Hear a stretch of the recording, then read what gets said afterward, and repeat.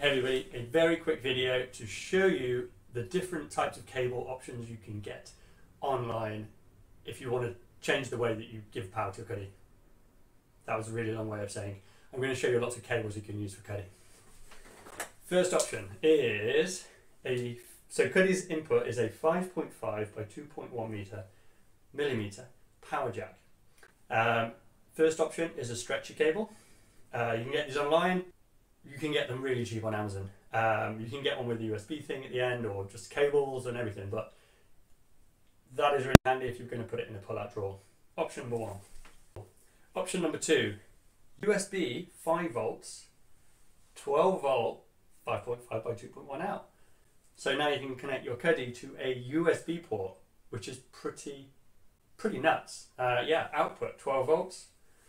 There you go. Comes with another little thing that I think is a 5.5 by 2.5, not the 2.1 that we use, but heaven forbid you have anything else that you need to run. Cool, that's option number two for anybody who wants to use USB. Option number three. This is the regular cigarette lighter option with a long cable.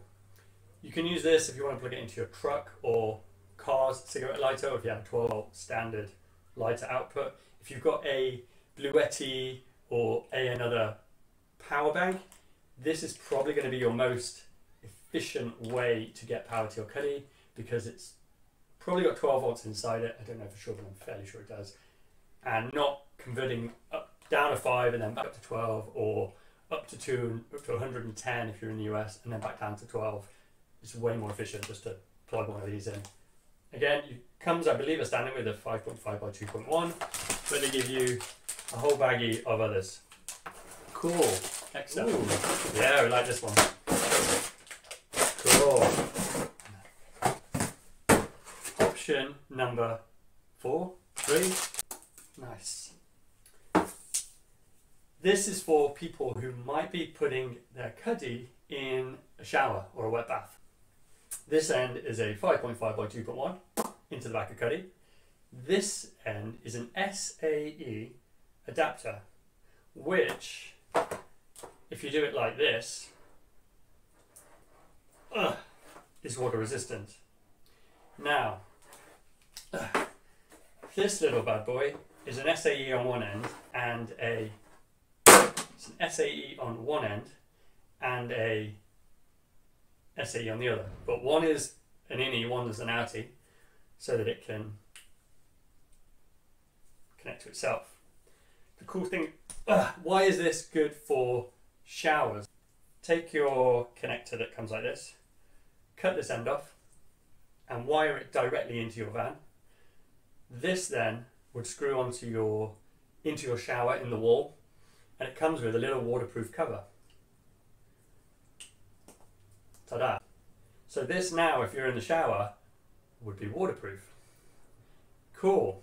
But then what do you do about this then? Well, normally you'd think, okay, plug that into Cuddy and wire that into a wall. But if you plug that out of a wall and you're going to move Cuddy out of the shower, because you wanted to unplug it anyway, then go and just take the whole cable in the back of Cuddy out. Put your cap on, your shower's waterproof, Cuddy's out of the way, and hey presto, you're good to have a shower. So that combo there, the SAE wall adapter and the SAE to 5.5 by 2.1 Cuddy adapter would work in a wet bath. Cool.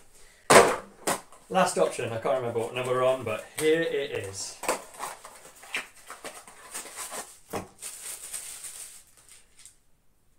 Plug. This is obviously a UK plug. You can buy one for your own locality if you do want one, uh, we'll share links to which adapter to get. They come in half an amp, one amp, two amp, three amp, all of which are 12 volts. Be sure to get one that's 12 volts. The current rating isn't as important. It's more of an upper limit rather than how much power it's going to give to Cuddy. Cuddy will just take what he wants and needs at 12 volts. But there you go, plug. That's if you're at home or if your 12 volt in your Bluetti is already occupied with, I don't know, lighting cigarettes. Cool. So that's it. Any questions, guys? Let us know. Which is your favourite tell us. Um, cool. Cheers, everybody.